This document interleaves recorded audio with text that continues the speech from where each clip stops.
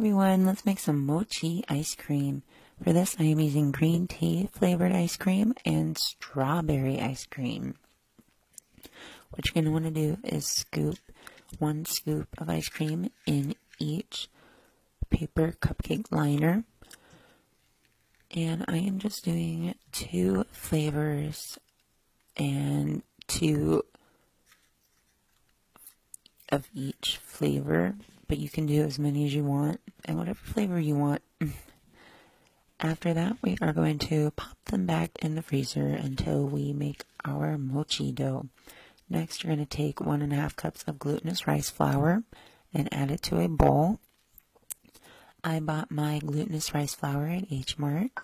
I tried making my own by grinding rice, and that did not work. You need the glutinous rice flour for this, but you should find it at your local Asian market. And now we're adding 3 fourths cup of water and followed by that 1 fourth cup of sugar. Stir until combined.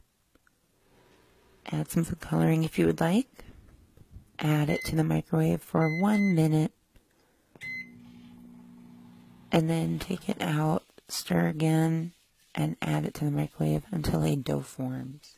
Now we are going to spread some cornstarch onto a pan and press our dough down, roll it out, and we are going to shape it into our squares.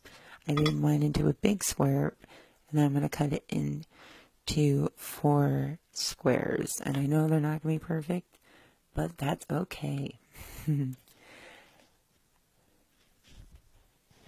and then after this, you're going to take a piece of plastic wrap lay it on a flat surface and lay a piece of our mochi dough square